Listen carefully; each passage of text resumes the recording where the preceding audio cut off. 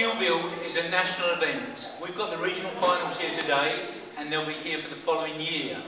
And it's very prestigious for the college and we've gone the whole hog um, by getting a celebrity and to making sure to making sure that all the youngsters that are in all the courses and all the areas, so from brickwork, painting and decorating, plumbing, the um, electrical, trowel trades, trowel trades and plumbing, electrical, and electrical engineering and electrical installation.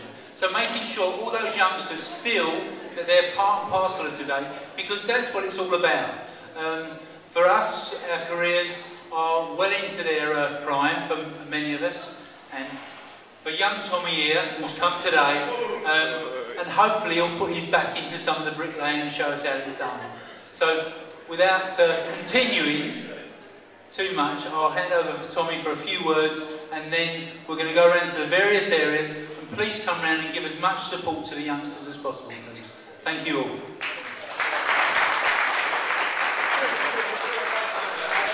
morning, everybody. Uh, welcome to the Skill Build at Barking Dagenham College.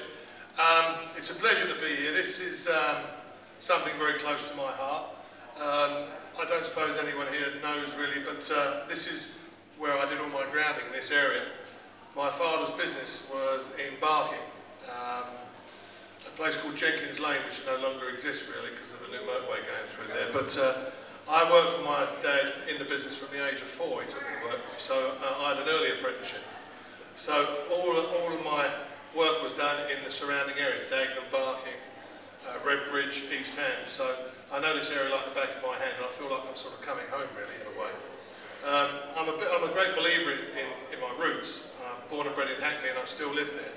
And I have a special uh, affinity with Barking and Dagenham because I had such happy memories growing up although it was work it was something I enjoyed.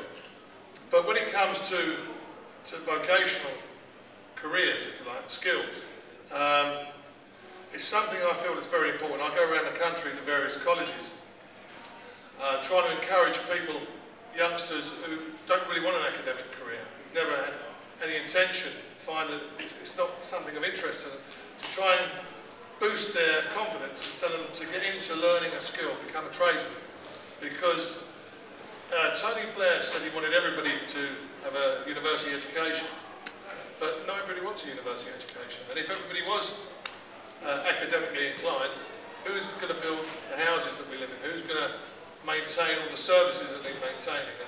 And even skills, uh, skilled jobs like child minding, etc. Somebody's got to do that, and it has to be something that's valued. But what's happened though, for the first time I think tradespeople are being valued properly for their skills. And that's reflected in, in the pay and the salaries that you can achieve.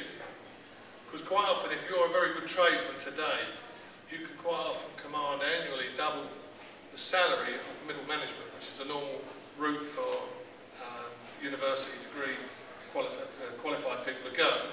So I think now for the first time in the last five or six years, that the true value of, of a skill, of a trade, uh, is being recognised. So the one thing I would say to you though, if, if you want to really achieve, you've got to become the best in your field.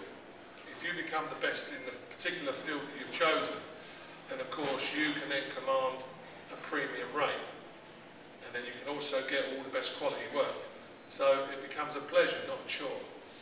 So um, hopefully I'll see some of you guys in the future. And also bear in mind, you never know where it's going to take you.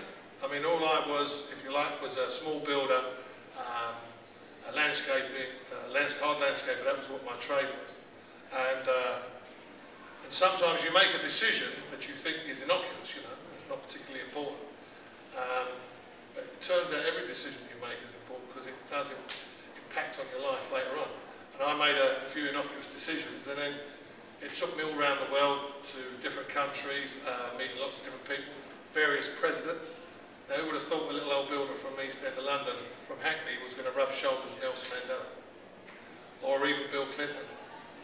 So it's been, it's been a, a great journey for me, and it's just, all I want to do is try and show you what can be achieved if you put the effort in, and you make the right decisions. So uh, hopefully I'll, I'll have time to chat to you all today. when to go around and have a look at what you do. So I'll be looking hard to make sure that, that you guys are, are working in the right direction. And I'll be looking to see whether there's any potential TV guys you know. We're always looking for more skillful guys for TV. Will that be you, will it? Yeah, we also want people who are rather shy.